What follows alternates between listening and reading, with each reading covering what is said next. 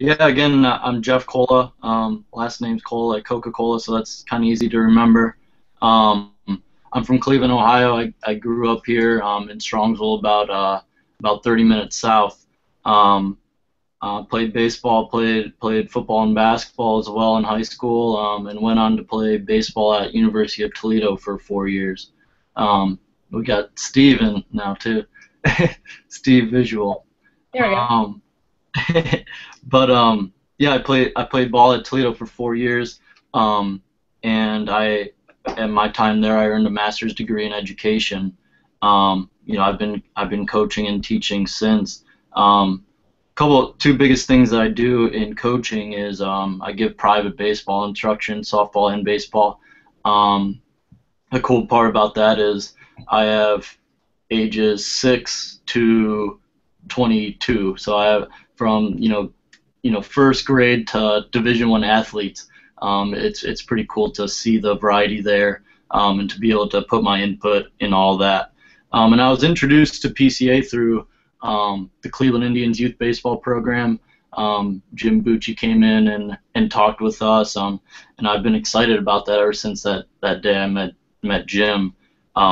You know, I'm just excited to kind of reach out to, to kids and, and help them understand. You know, sports can can really help them and you know life lessons and you know kind of teach us a lot of things along the way and, and just how cool sports can really be. Um, so yeah, I'll jump into um, um, you know Elm Tree here. So um, we know Elm Tree is um, Elm Tree of Mastery is this first big principle that that coaches should kind of take into their repertoire and really start um, implementing. Um, and I really like this word mastery. So just real quick, I know you guys know this, but you know, what does what does mastery kind of mean to you, or you know, gut reaction? What's kind of your definition of mastery? I would say mastery is when you're really, really good at something. Mm-hmm. Definitely. And and my question from there is, is that something that you know kind of happens overnight, or is that you know, what are your thoughts on that? I think you have to work at it. Definitely. Um, so yeah, to me, it, it's kind of a, a long process. Um, it takes a lot of hard work to really master something, to be, um, you know, really, really good at something, like you said, Kelly. Um, so again, that that word mastery, before we even get into what EL and M stand for, um, is something that I really look at. You know, that that we should start thinking about and getting our our student athletes to be thinking about as well. Um, the next slide is the first video clip, which I, I know you guys know. Um, and if we showed, um, again, we would talk about, you know, he talks about a real good effort, but, you know, he's really concerned about winning and he's not going to accept anything else other than winning. Um, and again, the, the next slides, you know, from here are really going to talk about the difference between, you know, the fine line between, you know, winning at all cost you know, our scoreboard definition and um, and our mastery definition. So slide 14 um, is you know that that question of which Olympic athletes earn the most medals, um, the ones that focus on scoreboard, the scoreboard and winning, or those who focus on mastering their sport and getting better. Um, again, we know this, but you know this is a, a research done in the early, early 2000s. Um, and that question is, you know, and, and as we, you know, talk about that, you know, that's something we can kind of get the um, the crowd involved in. Um, you know, nothing too long, but um, understanding that number two is probably the correct answer there. Um, you know, those who are who focus on mastering their sports and getting better. Um, you know, again, why is why is that the correct answer? Um, and and now we're going to start looking at, you know, really comparing the two um, the two of those, looking at the scoreboard or um, um, mastering our sport. So on pay, or on slide 16, you see the the definitions of both. Um, first thing that, that I want you to look at is is the definition of mastery. Okay, so we have effort, learning, and knowing that mistakes are okay. Um, and when we when we look at this, we um, you know, a scoreboard definition or a scoreboard winning coach is really um, driving from results. He wants results. He wants to win at the end of the game, um, and that's what he's concerned with. What we need as coaches and what we should be communicating with our student athletes is that we should be looking at the effort that it's taking to win the game. All right.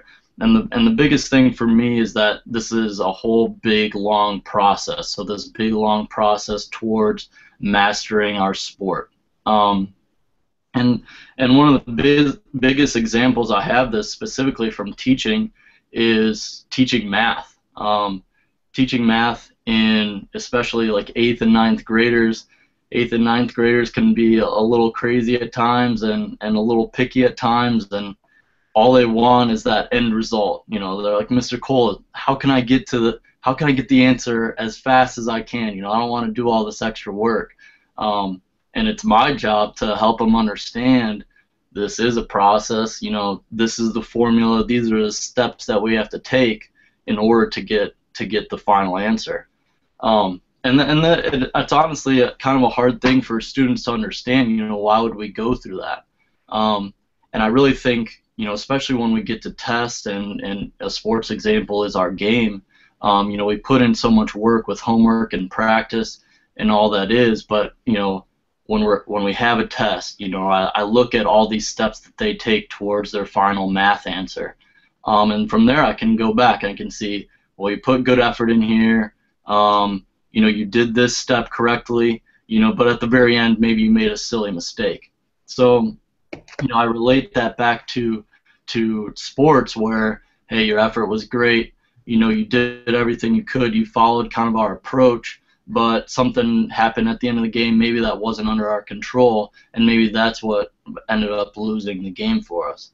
Um, so it's it's looking again at, at this whole process of things instead of um, instead of looking at you know the end result how can i get to it right away and, and that's what i'm concerned of you know I, that's what you know i'm i'm not happy with the result, okay? But if we're not happy with the result, let's look back at the process and see see how we did. Um, another thing that I mentioned on on some of our discussion points was with youth youth baseball. We talk about um, ACE. So in, in looking at um, mastery, effort, learning, and mistakes, we can also add attitude and concentration. Um, the biggest thing that I like about effort, learning mistakes, and as well as attitude and concentration. None of these things really have anything to do with winning. You know, this is this is really they all have to do about the process towards winning. Um, again, looking at you know the scoreboard definition, um, you know, comparing to others. All right, we have to worry about what we're doing, not really looking at what others are doing. Um, and again, we we know that mistakes are okay. Mistakes are going to happen. Um, as long as our efforts there, you know, mistakes can happen, and, and we're going to learn from those mistakes. Um, so on on slide 17, um, again, we're kind of excuse me. So as so as coaches kind of accept and, and implement this um, mastery um, or process as coaching, um, we're really going to start to look at, you know, what this does to our players. Okay, so how do our players really respond to this types of coaching? Um, and something that has shown through research is that when we have this approach coaching, um, they're really going to have their anxiety go down, and, and that anxiety kind of comes from you know I'm really worried that I'm gonna I'm gonna get yelled at if I make a mistake, or um, you know I'm gonna get yelled at, or we're gonna have to run um, after we you know if we lose or something like that. So I think it's it's it's a great way of looking at that. You know, if I get a, a, a team full of a team full of players that you know their their anxiety is down, then you know we should we should be in a good situation.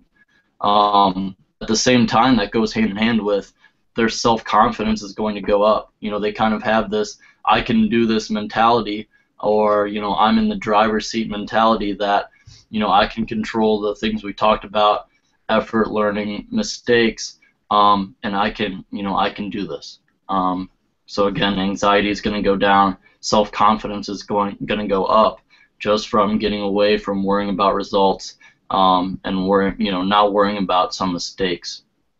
So um, this gets uh, gets us to slide 18, um, where again talking about players, it gives players a feeling of control. Um, they really feel like you know they can control those those things. Effort, they can learn from their mistakes, um, and again, their their attitude and concentration are two more things that I like to throw in there. They can control those things, um, and when they focus on these things, um, instead of the result or instead of you know trying not to make mistakes, um, they focus on the things they can control. You know, not the scoreboard, not the umpire, not the field. You know, what court, whatever it might be. Um, they actually will tend to work harder. You know, when when they know that those things are, you know, they're in the driver's seat to kind of helping themselves out. Um, you know, working hard. You know, they're they're going to end up working harder because of their their effort, their attitude, and their concentration. Um, and one of the biggest things I like is if they know it's a process, you know, they're going to stick to it longer. Um, you know, all of my, you know, great coaches throughout the years said we're trying to play our best, um, you know, our, our best baseball, our best best game by the end of the year. So us as players, we knew it's going to be a process. We knew we had to keep working on the same things um, through that process to get better. Um, and I really think as players, it helped us stick through a long season. Um, and this actually happened to me last night. I'm I'm excited to share. Um, I had a senior in high school, a softball player. She's going to a Division three school to play ba- to play softball, but she was her anxiety was through the roof just when she walked in because they're getting a new head coach um, her senior year of high school. Um, and you know she was worried about playing time and she wasn't a starter last year and she thought she would be but she doesn't know what this new guy's going to think um, and i just had to calm her down and, and really let her know like hey you've been working really hard you you know do great in the classroom you know you you've been in here hitting you've been in here catching um, your work ethic is there your effort has been there you've learned from your mistakes throughout the years um, and you can't you can't even worry about the, the past right now. You can't worry about what's going to happen in the future. All you know is that you know there's three weeks until tryouts, and and that's kind of under your control of how you prepare for that. Um, and and if the coach makes some sort of decision of, um, you know, playing time or anything other than that, like cutting players come tryouts, you know, that's that's not under your control, but you can control how hard you work and how well you lead and everything like that. So it was kind of cool to see that kind of come off her face and kind of understand that and say, hey, yeah, I'm in the driver's seat and I can, I can do this. Um, so that, no, that was a that was a great um, thing to be part of last night. Um, two minutes left. Um, the a scenario here. Um, when we look at players in inside of a game, um, slide 19 talks about um, a student athlete that that gets mad every time he misses a shot. You know, he hangs his head and he doesn't get back on defense. Um, something that I would communicate with my players, you know, before a game starts is, you know, after something negative happens in your mind, negative happens like missing a shot. Let's go through the process in our mind, and that will kind of tell us, you know, what I can learn from or what I can do better. Um, so was it a good time to take a shot? Was it the right situation? Was my form good? Et cetera, et cetera. Um, you know, student athletes can kind of go through that that in their mind and see, you know, is that something that um, you know I should have done or not, or what can I learn from that? Um, my big biggest example, since you know that's something I've lived, is, having a, a bad at bat or even a good at bat, you know, and it, it kind of determines how you look at it. I can take the best swing of my life and hit a real hard line drive somewhere, but the guy catches it and it's not the result I want. But if I look back and you know I know it was the right pitch to swing at, I know it was the right count to swing at that pitch. I know it was a good swing, you know, so I go through this process and everything else was good, then I know that hey, that's a good at bat even though my result isn't what I wanted. Um, so I think talking through that with with the athletes, with our with our players, can really be beneficial to not having guys um, kind of lose their cool out there. Um, and last thing, real quick, if I have enough time, you know, mistake rituals. Um, we talk about doing different things to help us flush, you know, bad things that have happened. So yeah, maybe it's a bad at bat, maybe you made an error in the field. Um, you know, I I'll try to make it some sort of physical movement to kind of remind ourselves to to flush that, get rid of that, and you know, who cares about that one? Let's move on to the next pitch, um, or what whatever it might be, next play. Um, you know, again, some sort of physical movement, whether it's actually flushing a, a toilet, you know, wiping it off our brow. Um, I know for baseball, I, I would like to pick a spot, you know, on the field or on my bat, you know, give myself a real good deep breath and really, you know, understand, okay, that one's gone, and now I can move on to the next thing. Um, and again, that's in that's on page 23 in the book as well. So. Yep, that's it. Great. I get it to stop. Thank you. I can't turn my thumb off. Nice job. Nice job. Thank you. Okay. Stop. All right. How'd you feel, Jeff? Okay. Yeah. It's um, you know, it's it's cool because this is stuff I've been kind of living and breathing before I even knew about PCA. Um, and kind of that mental side of of baseball and all sports and you know how can we you know keep our cool out there and you know control things with control you know I've, I've just been blessed with really good coaches who have talked about that and so that's why the first time I met Jim was like it's like wow I've been doing this stuff and how cool would that be for me to to kind of relate you know what I've been through what my coaches have said to you know like I said you know Strongsville baseball club, Stallions baseball club that you know I grew up playing with. So it's just a, a cool experience for me, and I'm excited to kind of get going with this. So. All right. Thanks. What I'd like to do is just have everybody just say a positive, something that you uh, you really liked about what Jeff just did. Definitely. Um, Steve, I don't know if you were in on any of it or some of it, most of it. We can't hear you. he doesn't know we can't hear him. We can't hear you. No. All right, Ruben, why don't we start with you instead while Steve figures that out? Okay. Um, uh, I'm, I'm, I know it's one positive, but I'm going to say two because I, they're they're quick. Uh, Jeff, I think you have very good mastery of the content, the flow, the format, the slides, what we want the videos to accomplish. Knowledge of the content, I think, is pretty strong. Uh, I really like that right when you got into Elm, after your two-minute intro, uh-huh. You immediately asked us a question, mm-hmm. and then you asked us, and then you asked a follow-up question, which immediately got our voices and thoughts into the the, the room, and uh, I like that Great. right off the bat. Thanks. All right, I was going to say similar. I mean, I think you obviously are living this, which is really obvious that uh-huh. necessarily something you just memorized that you are actually you've been coaching this way, and I, I think that's that's very obvious to me as an audience. The mm-hmm. other thing that I loved was um, when you tell a story about a player, your whole face lights up.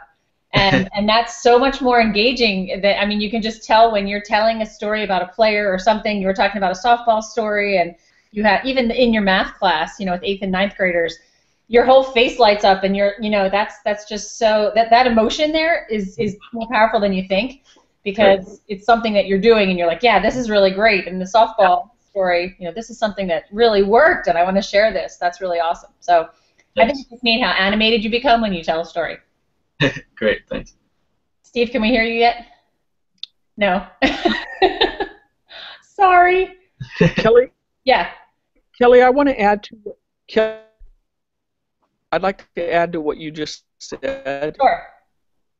Um, yeah, Jeff. So um, I'm convinced that you like doing this and that you're passionate about it. Mm-hmm. Um, and I, I think that your your energy level and your animation level does not match, do, doesn't show what's really in there. Again, until Kelly pointed out, once you started telling the story, Um, yep. You you lit up. You you. Uh, that's the first time I saw you smile during the 15 minutes. You okay. got a great smile. You know, yeah. we want to see that throughout your, your, your workshop. And um, you, you know, there, there's a combination of being yourself as a trainer, mm-hmm. you know, and then there's a combination. I actually think sometimes you force yourself not to be yourself. You force yourself to raise your energy level and use your arms and move in a way that you wouldn't uh-huh. normally. And, and, and then sometimes you might even lower your voice to emphasize something. Mm-hmm. So th- there's a combination of being yourself and then let you know forcing yourself to uh, bring that uh, to show that energy and that animation and that passion and change the channel for us a little bit. Yeah, it's it's it's there. You'll do it. Mm-hmm. And I think it's also on that line too, Ruben. I, I, agree. I wrote I wrote smile as one of my first my first critiques. Like just smile a little bit, and that's what I meant when you can when you change gears from PCA material to telling a story. You smiled and you were you were looking at us and you were more engaging. Um, my only other other wish is um, when I and I'm doing this because I'm keeping track of time, but through the entire 15 minutes, you asked one question of the yeah. audience. So if I'm in your audience um, I, you happen to ask me the question, I answer the question, but Steve, Ruben, and all the other 30 people that are in your audience have not been engaged.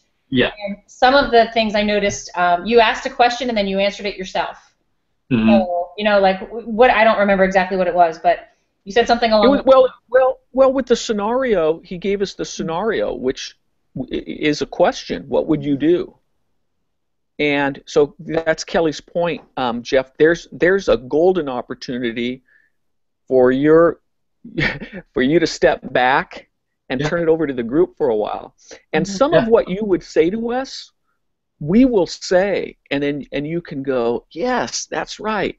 And and it's it's you know when when when these coaches are saying it to each other, um, it add, it adds so much to the workshop you, you know and and then jeff if some of them say something that's way out of line that's not such a bad thing either because it's it's good for others other participants to go wow we got a coach that would you know yell and scream at this guy or you know won't tolerate yeah. you know whatever. It's good for them to see that there are win at all cost tendencies even in our own club even in our own league.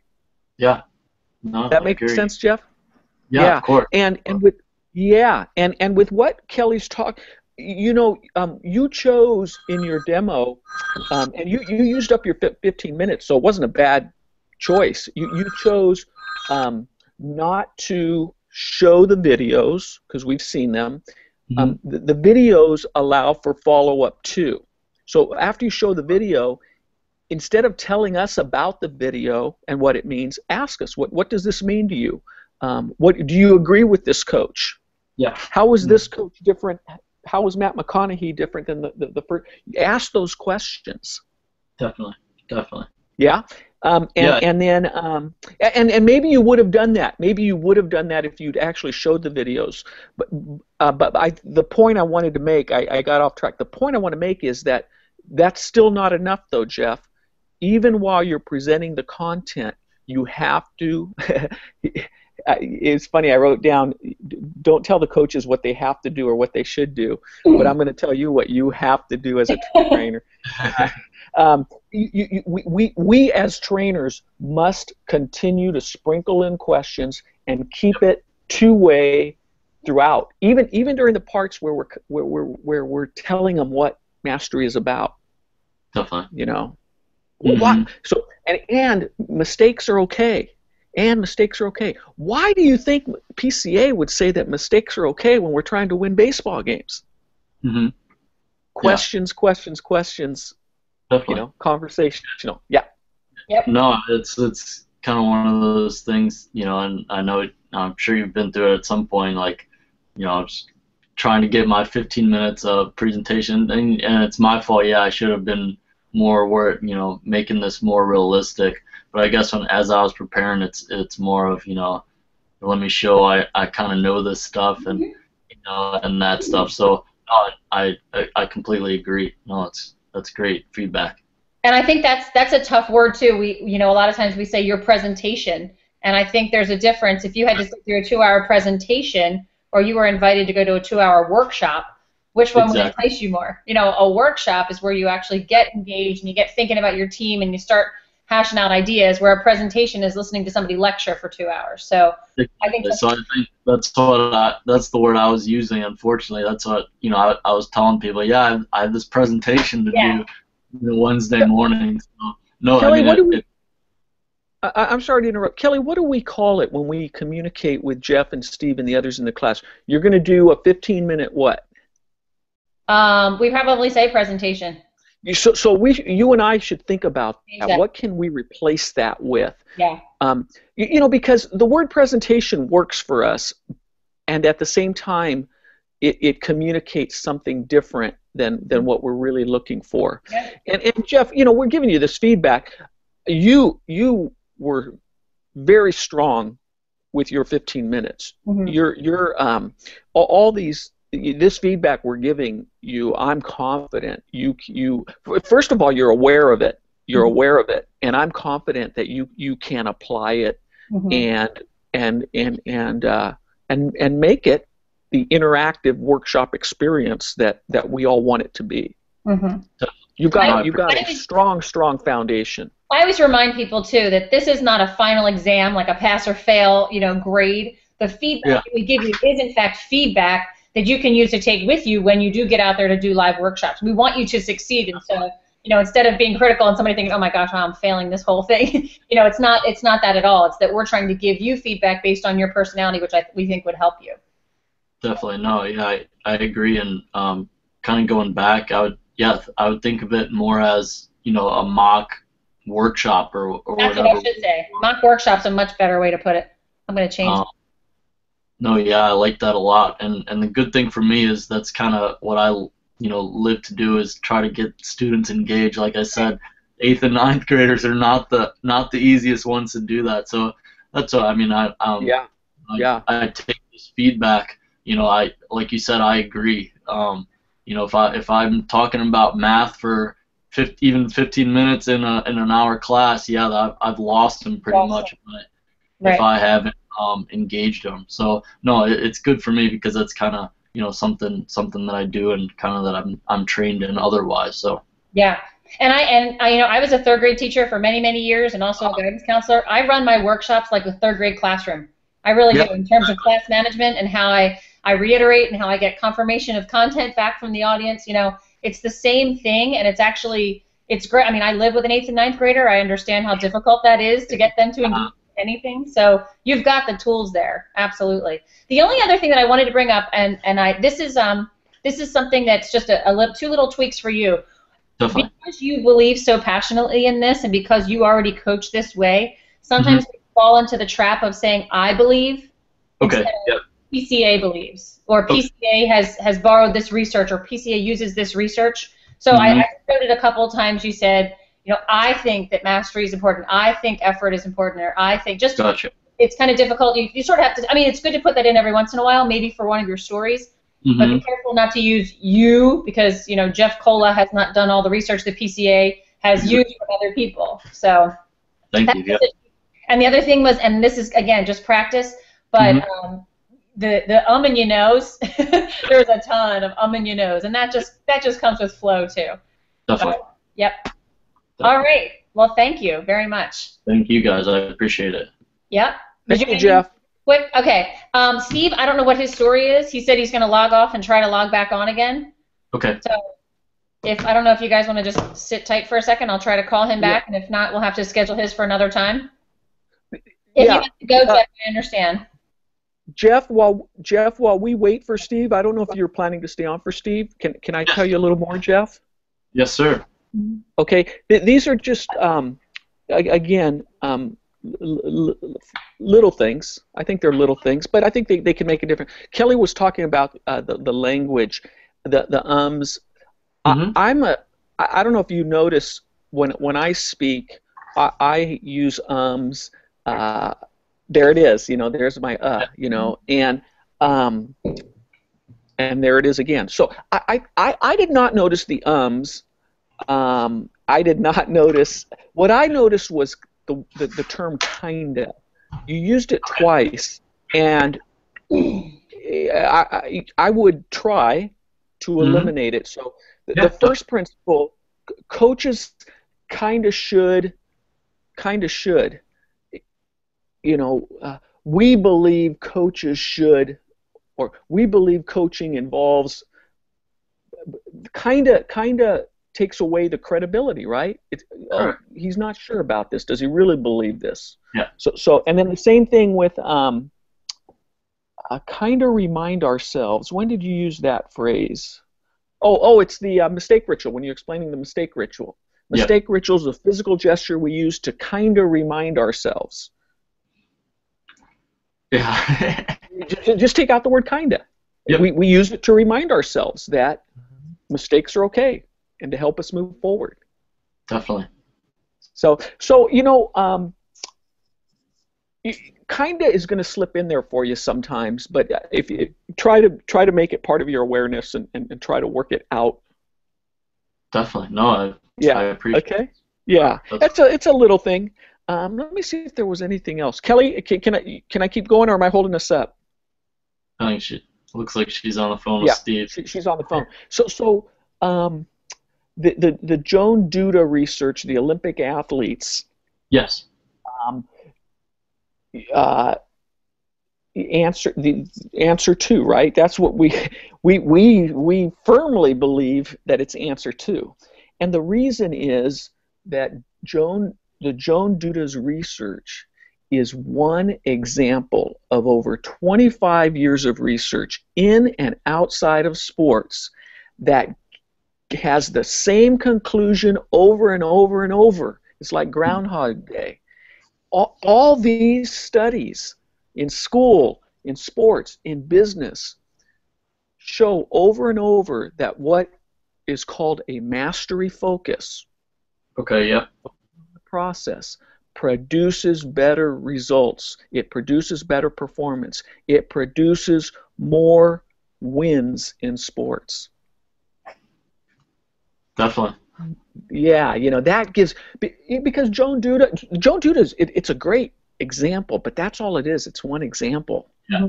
It's, it's, part of this huge. It's a part of this overwhelming body of. Re- And in fact, Jeff, in fact, Jeff, uh, many of our trainers we use the, the, the language that you know some things in sports psychology are controversial this is something that is non-controversial. Sports psychologists experts all over the country agree that mastery more of an emphasis on more of a focus on mastery produces better results than a, a scoreboard focus. Definitely kelly am i holding this up? Nope you're good. Okay, I'm just taking advantage of the time. Jeff, I, I usually uh, don't get the chance to uh, give this detail because you know we got a tight time frame. And uh, yeah, I'm privileged. So, That's great. That's great. um, what else? Is there anything else? No, I was telling Jeff there's a lot of workshops coming up in the next few weeks in Cleveland. Nick Sipkis just got back to me last week and said, you know, there's a ton of them coming up soon, and I actually sent it to Jeff. So the good news is, is there's a lot of opportunities for you to get out there. And yeah. have you been to a, a, full workshop yet? Um, I have not, other than the one uh, Jim gave to us, uh, to me, you know, listening. Okay, because what I might encourage you to do is observe a full workshop from beginning to uh-huh. end and then after that, um, you know, you can talk to the trainer. I already spoke to Marty Mordowski, who does a lot of workshops out there, and he said okay. he's happy to have anybody come in and observe or, or co-present with him. So um, I think going out to observe a full workshop from beginning to end, just to see the flow and how how you know how Marty or somebody gets the audience engaged. And then the next step would be for you to co-present a portion, similar to today. You would just take uh, one of the principles and and co-present that part, and then whoever the, the veteran trainer is there would decide the next steps for that as well. Okay. So Great. the good news is when I was doing this a year ago, training Cleveland trainers, there were barely any workshops. So now they're really it's really picking up, which is great. No, that's great. And then I'll be um, I'll be there for their uh, the partner um, symposium on on this Saturday. Oh, um, great. So I'll see Jim and those guys on Saturday. That's great. Kelly, do you know about that event, this partner I, symposium that they you put know what? together? Jim asked me about coming out to do it, but I'm already yeah. in Tampa. Yeah. So yeah, so you know about it. Um, and yeah. then Kelly, you'll be the Oprah. Uh, Jeff, we use that. Ter- that's a, a, Jim Thompson PCAism that comes from. Uh, uh, I don't know what where it comes. Oh, it comes from Jim. Jim Call. Uh, comes from some some some book that we've read. And uh, one person ultimately responsible, Oprah. Uh, Kelly, you will you will guide Jeff's um, movement forward, right? Being, yes. being that he's in Cleveland. Yep. Okay. So, so so Kelly, I want you to know, and and I, I, completely trust your judgment, and I know you, you, you work so well with, with trainers, and you'll work with you. Uh, I I personally would be okay if there is an opportunity for Jeff to immediately uh, co-present as an associate trainer before he observes an entire workshop. Okay. I, am I'm, I'm okay with that uh, based on what Jeff showed us today. Okay. Um, and, you know, and, and if he does co-present, it could be something where he, you know, he presents Elm, one principle, and mm-hmm. then he still gets the op- the opportunity to observe the rest of the workshop. Yeah, that's true. So, so, so, I, so I'm okay with that. I'm okay with either he observes and then co-presents, or that you move him straight into co-presenting. Okay. All right. Does that sound good to you, Jeff? Yeah, definitely. Okay. Yeah, either, either whichever you know opportunity kind of comes up first, and and what you guys think is best. Yeah, I'm, I'm definitely open. Okay. Do you still live in the Strongsville area now? I do. I'm I'm between um, the yeah Cleveland, Strongsville, Akron area. I'm I'm all around. So. okay. Cool. All right, then what we'll do is we'll get you into our system as an associate trainer, and right. um, and then we'll we'll talk to you about how to get you out there and how to get you. And if you you know if you feel comfortable co-presenting, that's that's a great recommendation, Ruben. I'd love to have him do that. Perfect. It, it, it, it may be dictated by the calendar and the workshops Jeff, yeah. there's some workshops that lend themselves to, mm-hmm. to plugging in a, a, trainer in training like you, mm-hmm. and there's some where it's just not the right workshop to do it. So, so Kelly will be aware of that, and yeah, um, yeah. Hey, um, yeah. so Kelly, what are we going to do? Is Steve going to join us? or you we... know, he's very frustrated. He was laughing. He said, "I got up early. I even showered." And uh, so, should we? So, so we don't even want to try to do it by by telephone with Steve. Well, um, I guess we can. Um, he's just having computer issues. It was working fine, and now it's not. So. Um, has he has he moved on? Has he moved on basically? No, he's he's still trying to get back on again, but I don't want to hold you guys up. What, what um, if we did it via, via phone? I mean, what if he have him present to us over the phone? All right, let me call him and see. Or even if we can just hear him over the phone or something. Yeah. Oh, there he is. He's trying again. Yeah, we don't have to see him. I mean, it's it's nice to see him, but we don't have to. In Hi, fact, Kelly. I've seen. Hi there. Um, can you hear me? You know, we can hear you now, Steve. And Ruben was saying, if you want to just present, I mean, it's nice to see you, but we don't have to see you. We can hear you right now on the computer if you want to just go that way. Can I be? Can I be? Uh, just this really sucks. it, really does. I don't know why, because when I click on my USB uh, icon, it shows me talking to myself. and when I come back here to the Hangout, it's not giving you my picture for some reason, and I don't know why. And I've done. Steve, can you hear still hear us? He must have a loose connection somewhere. I'm thinking. Okay, Kelly. Here's how I would think we should approach this. Yeah. Opportunity. Yeah workshops, things go wrong. Yeah, sometimes absolutely. technology doesn't work. Sometimes. Steve, can you hear us? He can hear us. So what I'm going to do, I'm going to call you, Steve, and I'm going to put you on speakerphone on my cell phone so that we can see you and then we can hear you through my, my cell phone. So I'm going to call you, and we're going to do it that way. Actually, I'm going to get my other phone. Hold on one second because it's louder.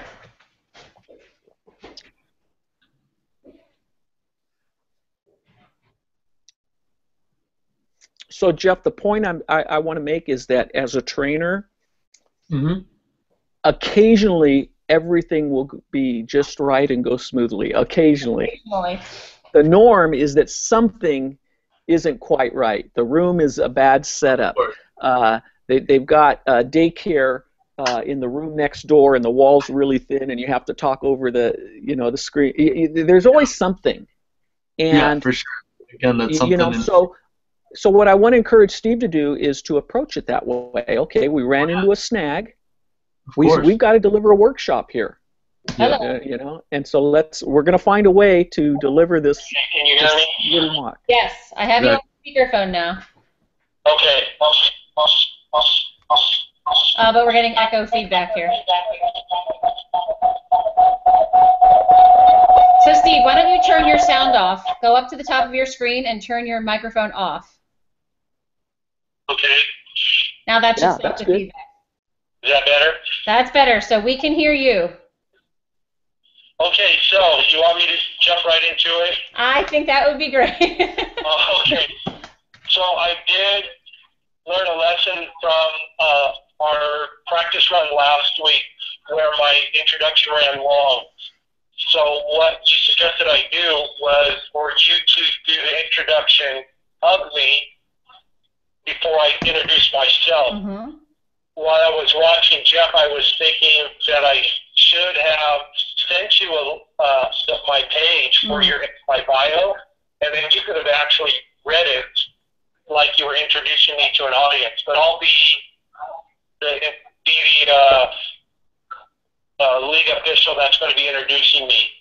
So uh, I'll jump right into it.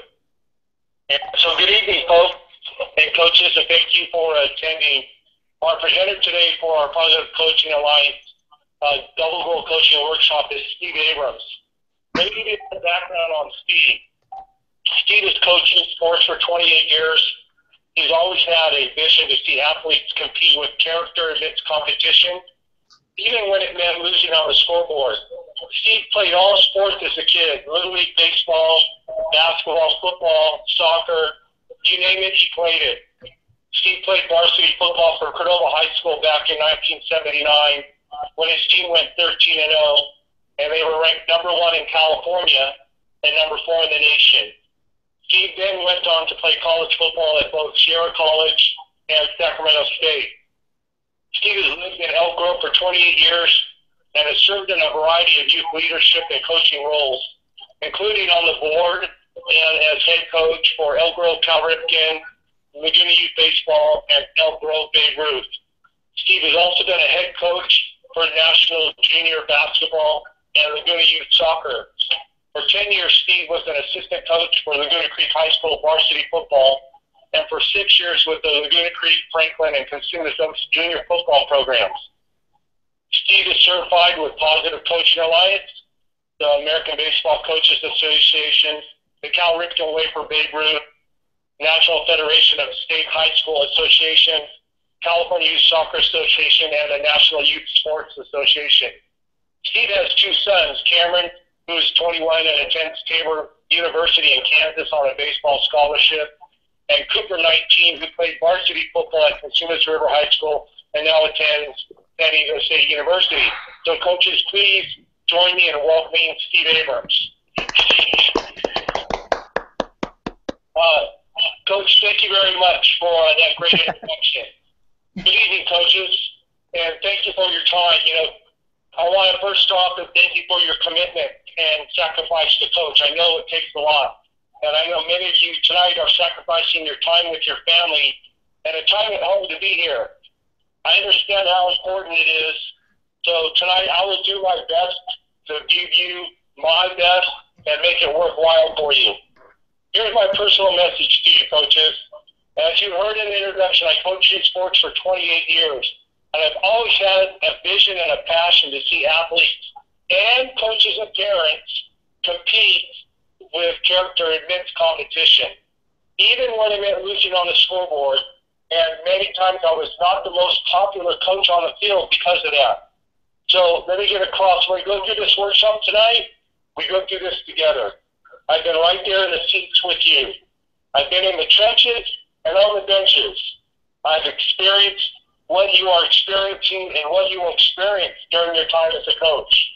You will someday come face to face with challenges on or off the field that will challenge your character against intense competition.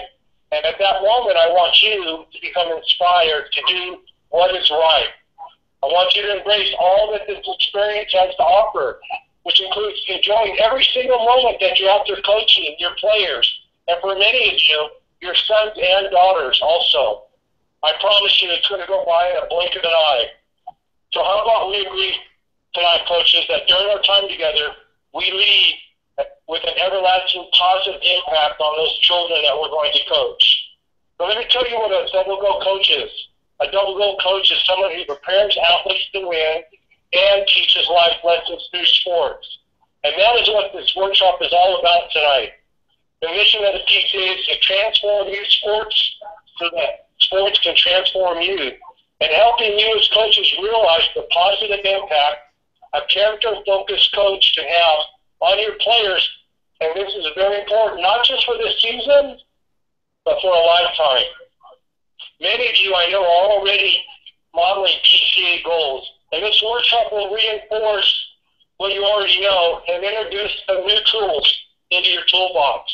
And so my job is to give you some insight and understanding that there's no more powerful legacy that you can leave than helping your young people realize their potential as well as being good athletes. Simply put, I want you to be that coach who your players will remember for that positive impact you had on them. Now, first, before we even get started, I want you to take out your books. Everybody has a book. I want you to open the front cover and write your answer to this question. I only want you to take maybe one minute. My question to you is this, coaches. How do I want to be remembered as a coach? So take your time, write that in there. Okay, now I want you to turn to the person next to you, coaches, and I want you to share with the person next to you on your left or your right what you wrote. Share your answers. Very good. Now, coaches, give me some feedback. I want I want to hear from you. Tell me, anybody here would like to share? I want to be remembered as a good teacher. Very good. Thank you, Ruben. Now let me, let me explain the. And I'm, on the side note, I'm rushing a little bit. Don't rush. So, okay. Don't. So let me explain the power of double goal coaching for you. A double goal coach is a coach who prepares athletes to win and teaches life lessons through sports. Now, coaches, can I get a shake of your head? Isn't that the type of coach that you want to be?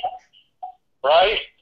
Right. A double goal coach never loses sight of that unique opportunity you as a coach has to teach the important aspects of life and their enormous potential to impact lives. So tonight I want to encourage your participation. We, I want to set a tone where we create and share some stories. We interact with our thoughts. Uh, your input is respected. Everybody's going to listen. Can I get a, an agreement, everybody, that you'd like to participate tonight? Can I shake, can I shake your hand? Thank you. So let me explain the relationship to this book I have. I encourage you to use this book often. Open it up, read through, take notes, dog ear the pages, use this as a lifelong reference. Okay, so that would be my end of my intro before I went into the first principle. So then I would transfer it and I say, okay, coaches, now we just got through with uh, e-tanks. We learned how to fill emotional tanks.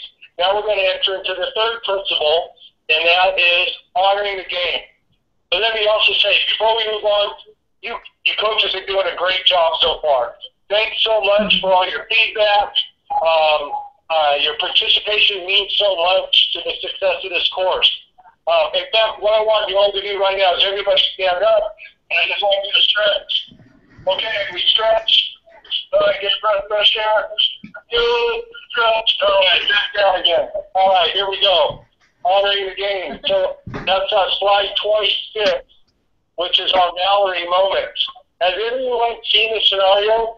It was played out on ESPN newscasts everywhere. Any, can anybody tell me what this uh, this picture represents? Yeah, that's the girl who hit it over the fence, um, but she got hurt running around the bases, and so uh, I, th- I, think the other team actually ended up helping her around the bases, something like that. Yeah, that's, that's very good. You, you got it right on there, Ruben. Uh,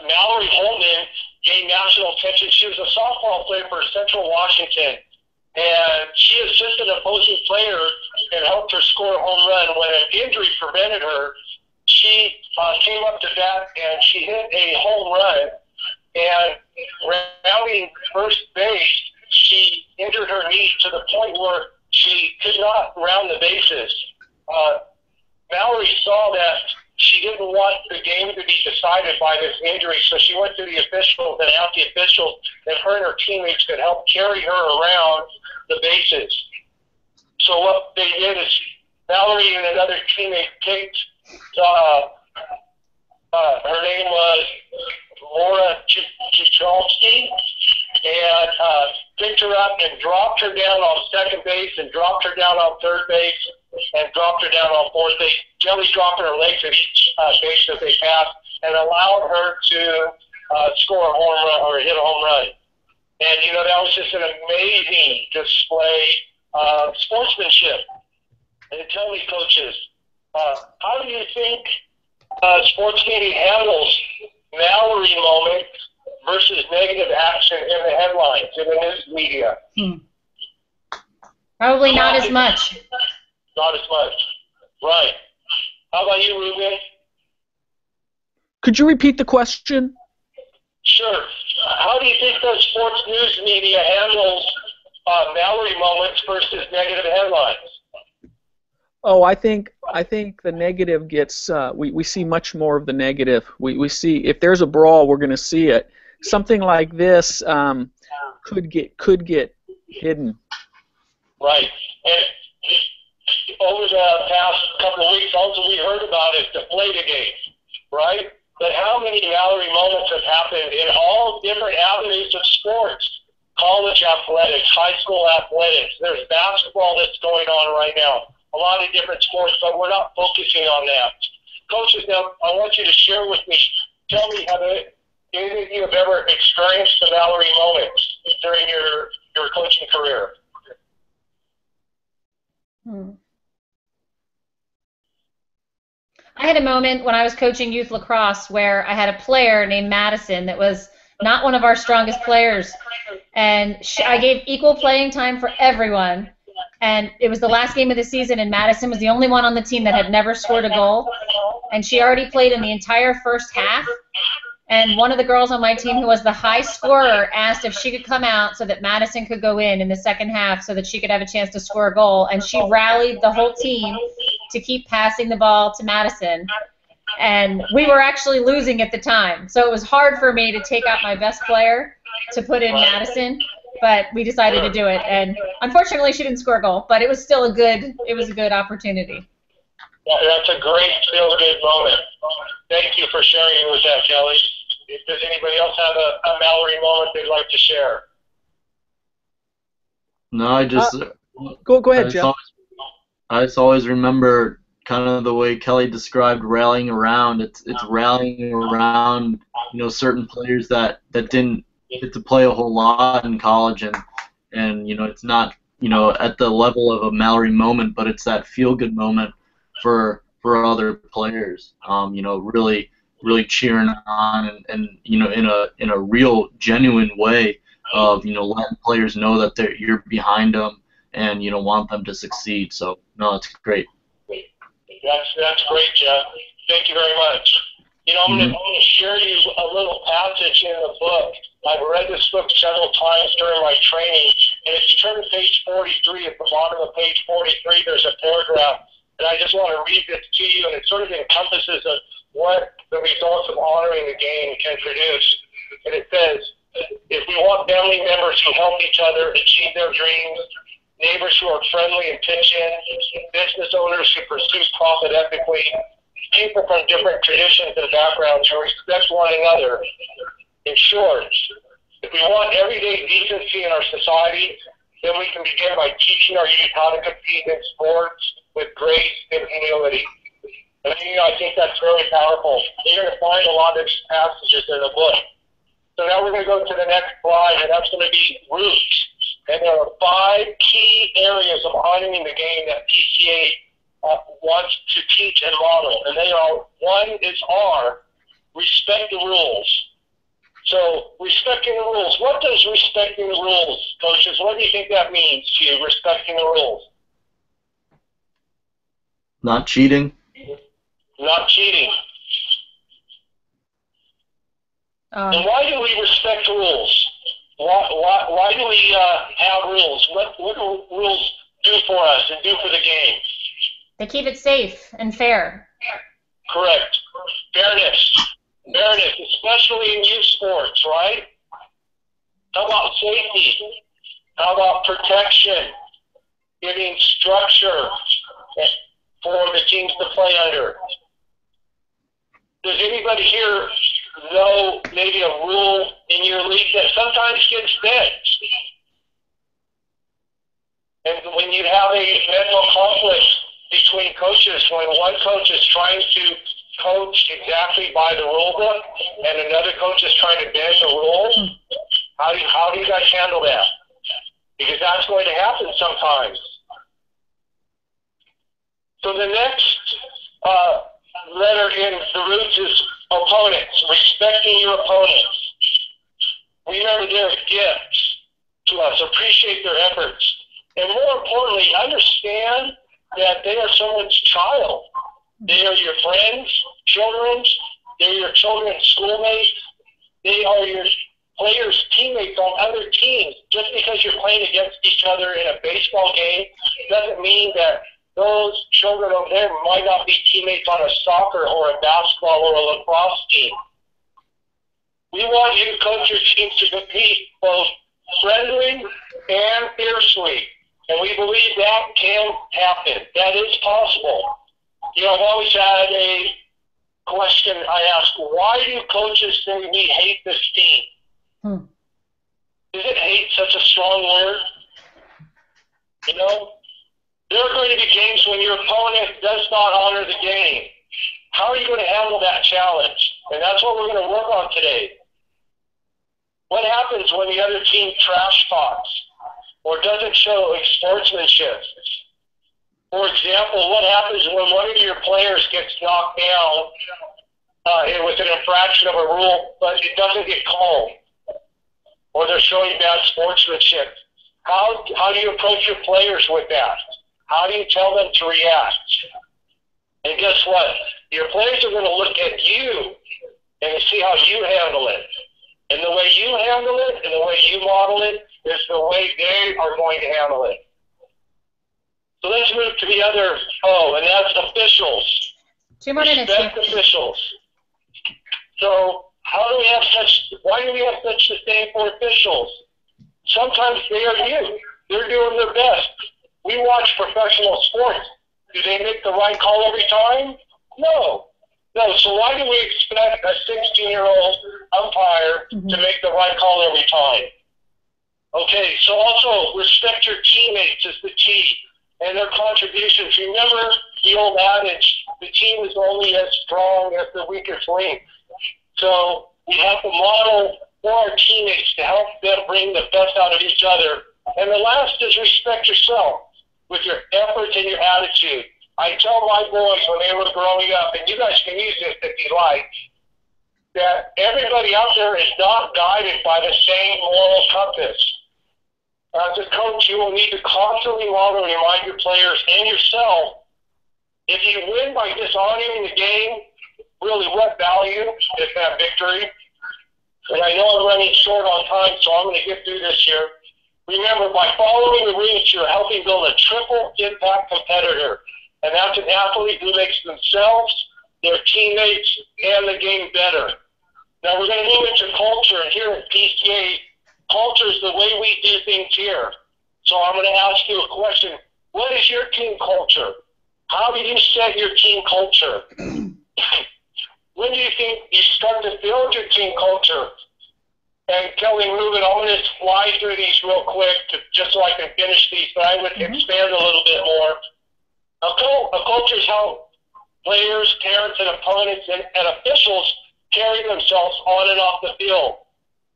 So uh, my question to you, coaches, is how do you think you can establish a team culture? Or I even challenge you as a group, how do you establish a league culture? Now, if we turn to page 46, is our Honor the Game toolkit in our book. And this helps you and gives you uh, to help prepare yourself with self-control routines, questions on ways to implement self-control routines. I would ask the coaches, give me some ideas. Breathing, counting to five. Sometimes it can get very heated, so if you practice this, coaches, when it actual the challenge comes during the game, you are mentally prepared. Then I would ask a question. Think about a situation where you could have improved your reaction. Well, fine. Time's up. If you want to finish your sentence, go ahead. I don't want to interrupt you. Okay, I, I just I just have a couple of uh, points to make. I would do a role play, uh, and I would practice with the reaction. I would uh, make a bad call and ask the coaches to give me some positive or, or negative reactions to my call. Mm-hmm. Uh, and then on pages 47 to 51, the book gives you several different tools to use when addressing your players. I like number two, seizing teachable moments. And number one, setting expectations at your parent meeting. I think that's so powerful to set expectations to your parents and your players about how you expect the reaction and how you are going to model the game when those challenges arise. So remember, start by establishing roots with your players and parents before the season begins. Reinforce teachable moments and look for that Mallory moment.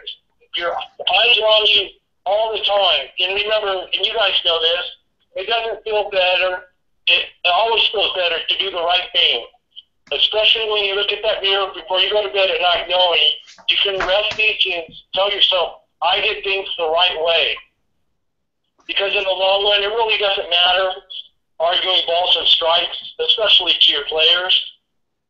Review roots, respect rules, officials, opponents, teammates. And I want to close with this.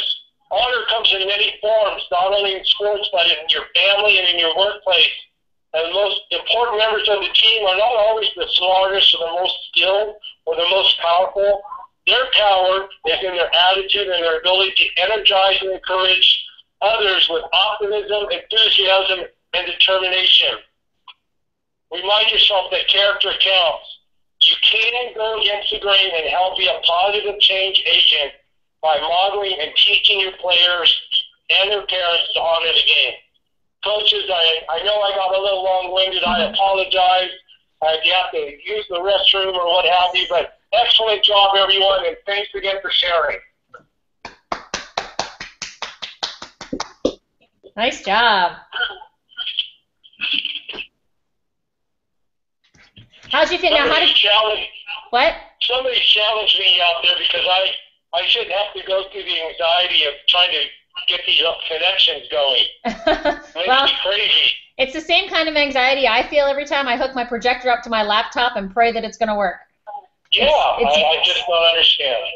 And I've had I, I forgot my charging cord one time, and I had to do 90% of the workshop with no PowerPoint.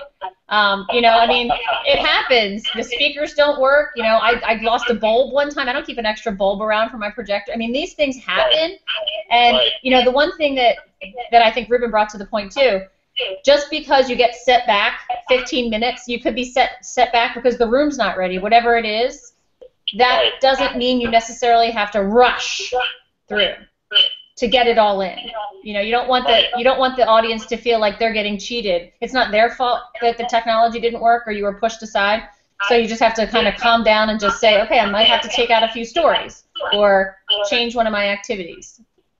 So. Well, I really appreciate your patience waiting for me to get hooked up this morning. That's okay. As Ruben said, occasionally things go smoothly with no hiccups. All right. Um, how about how about some positives, Jeff and, and Ruben? Um, there's a lot of stuff. I think the the the biggest part was again that that intro. Um, the thank you, you know, for for being coaches and and all that. That's actually it's probably more powerful than you think. Um, and obviously, you put it in there for good reason, but I think that's that's a great thing. Um, and just your opening message of, of what you wanted to get accomplished, and and again that that kind of thank you. Um, I really enjoyed that. That kind of got me pumped up and you know ready to go. So that was great. Thanks, Jeff. Yeah, So, so um, I, there's feedback, but I think you can still hear. So I think um, a strong positive is, Steve, it's so clear that you have put a lot of thought and preparation into what you're going to do with this this piece of the workshop. A lot of thought and a lot of preparation. I, and so then I'll, I'll, follow up on that a little later, Kelly. But I think that's a positive. I mean, clearly, Steve, you're you're you're you're working very hard at this, and you're you're putting a lot into it. Thank you. It's the feedback from the phone. It's getting the the sound from the computer and then taking it through the phone. So that's the feedback of that. Sorry, guys. Um, I think I think in addition to what Jeff said, I agree with it was, your your intro is very powerful. It makes me want to listen to you. Which intro are you talking about, Kelly? Are you talking about the the intro that the the the, the read about? Yeah. I mean that. You're talking that about the, the next op- his opening statement. Yeah, just validating that he's been through what the coaches have been through. That you know you've had these challenges you are a lot of you already coach with these methods i think that's really important for i don't want to say buy-in but i think that's what it is you, you're establishing that you've been there so i think that's really good um, also maybe ruben and jeff if you just put on mute for a second that might help i don't know if that'll help with the feedback or not maybe i should put on mute i don't know but we might just have to do feedback after this because this is crazy. Um, but I think also you use the book as a resource very, very well. Better than a lot of veteran trainers that I've seen. Um, you make me want to dive into the book. You use great examples. You read some of the quotes, and I think you know a lot of the partner managers for PCA will say the book is a very powerful resource, and it's actually something that the partners have purchased. And if you go through an entire workshop and don't mention the value of the book, the partner's thinking, wait, I just spent hundreds of dollars on these books for all my coaches, and they don't even know what to do with it. So I thought that was really that was really great the way you did that. Kelly, can I interrupt you because I have a uh, at in two minutes I have to at now one minute I have to go. I, I just want to say a couple more things. Hey, um, uh, Steve, I think I think um, I think you're trying to do too much believe it or not. Uh, you know, I, I appreciate the, the, the, preparation and the thought, and I, I think you're trying to give us too much. I, I think less is going to be more for you. And I agree that that opening statement that we both Jeff and Kelly referred to has some power to it. I think that it, it needs to be shorter, and I all, or I think it can be broken up into an opening statement at the beginning of your workshop, and then you come back and finish it at the end of the workshop. You, um, Steve, you have a, a, a, bit of a bit of um, I, I don't know what the word. I'm going to use the word. You're preaching to us about. You're, you're appealing to. You're appealing to us our emotions and our our desire to want to do the right thing you do that throughout. Uh, it, it comes through over and over and over. And and I think it's good. And I think too much. I think I think there should be a, a, a couple pieces of that. Um, and maybe Kelly or Jeff has a better way of, of expressing that than, than I'm expressing it right now. But it, it, it feels like too much to me. Okay? And uh, I think I think that there are a lot of ingredients in what you did today and what you did last week when I was with you that are going to uh, allow you to be a good, effective trainer. Um, I, I, actually think we need to scale a little, some of it back a little. So um, I'll, I'll turn it back over to Kelly and Jeff. If I